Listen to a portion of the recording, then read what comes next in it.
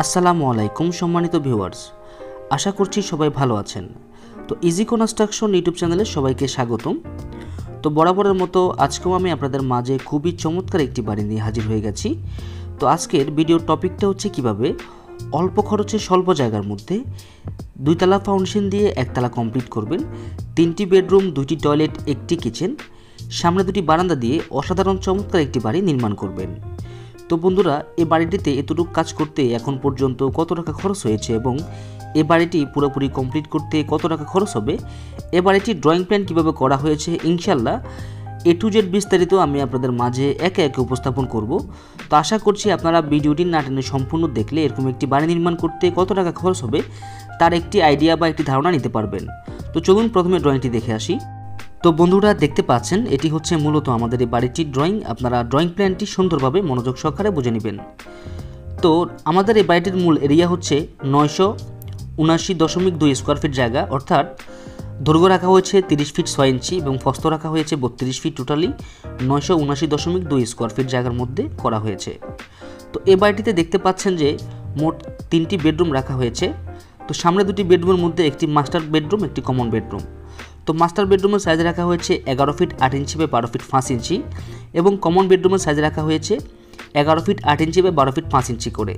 তারপরে দেখতে পাচ্ছেন সামনে দুটি ব্যালকনি রাখা হয়েছে এগারো ফিট আট ইঞ্চি বাই দুই ফিট ছয় ইঞ্চি করে।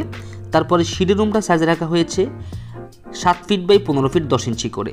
সিঁড়ি দিয়ে প্রবেশ করলেই আপনারা ড্রয়িং কাম রানিং স্পেসটি পেয়ে যাবেন।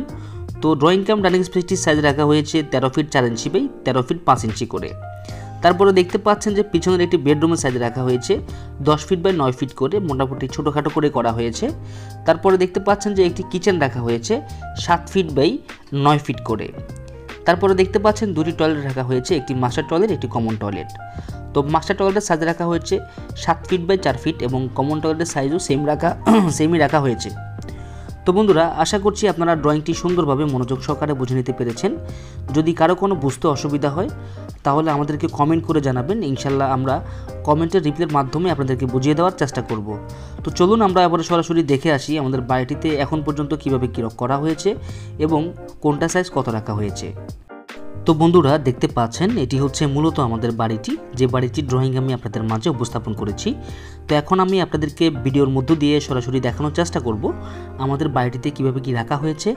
এখন পর্যন্ত এই বাড়িটিতে কত টাকা খরচ হয়েছে এবং এই বাড়িটি পুরোপুরি কমপ্লিট করতে কত টাকা খরচ হবে, ইনশাল্লাহ আমি ভিডিও শেষের দিকে বলে দিব। তো আশা করছি আপনারা ভিডিওটি মনোযোগ সহকারে সম্পূর্ণ নাটেনে দেখবেন।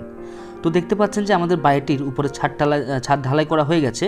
তো আমাদের নিচে শাটারিংটা একটু আমরা কি বলে, পাতলা করে দিয়েছি। তো কেন পাতলা করে দিয়েছি? ইনশাল্লাহ আমি ভিডিওর মধ্য দিয়ে উপস্থাপন করব। তার আগে বলে নিচ্ছি যে আমাদের এই পুরো বাড়িটি মোট বারোটি কলমের উপর করা হয়েছে, দেখতে পাচ্ছেন। তো কলমগুলোর সাইজ রাখা হয়েছে দশ ইঞ্চি বা দশ ইঞ্চি করে এবং আমাদের নিচের যে বেসগুলো রাখা হয়েছে, বারোটি কলমের নিচে বারোটি বেস তো বেসগুলো ঢালাই করা হয়েছে দুই ফিট বাই দুই ফিট করে, যেহেতু আমাদের দোতলা ফাউন্ডেশনের বাড়ি।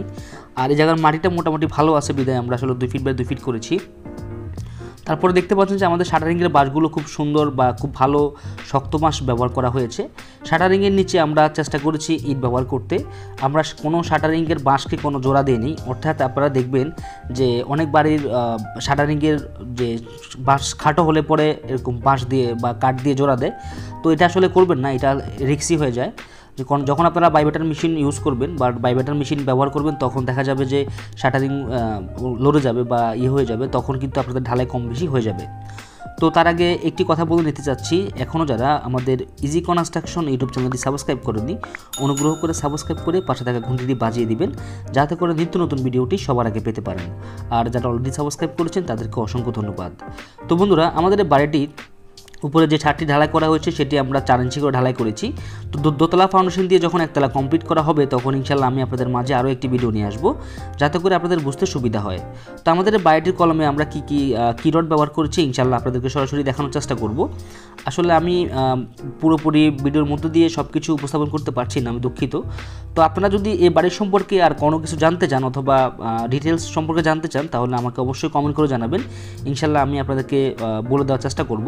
তো দেখতে পাচ্ছেন যে আমাদের এই বাড়িটির মধ্যে মোট বারো মিলি রড ছয়টি করে দেওয়া হয়েছে সিঁড়ির যে চারটি কলম, সেই চারটি কলমে। আর বাকিগুলো কলমের মধ্যে আমরা বারো মিলি রড চারটি এবং ষোলো মিলি রড দুটি মোট ছয়টি করে রড ব্যবহার করেছি দেখতে পাচ্ছেন। তো বন্ধুরা, এখন পর্যন্ত আমাদের বাড়িটি নিচের কাজ কমপ্লিট করে, শাটারিং করে একটি ছাদ ঢালাই দেওয়া পর্যন্ত খরচ হয়েছে। চার লক্ষ বিশ হাজার টাকা এবং এই পুরো বাড়িটি যদি আমরা কমপ্লিট করি টাইলস ইলেকট্রিশিয়ান প্লাম্বার ছাড়া, তাহলে খরচ হবে আট থেকে দশ লক্ষ টাকা। তো বন্ধুরা, আট থেকে দশ লক্ষ টাকা হলে আপনারা একটি বাড়ি নির্মাণ করতে পারেন। সব ভালো থাকবেন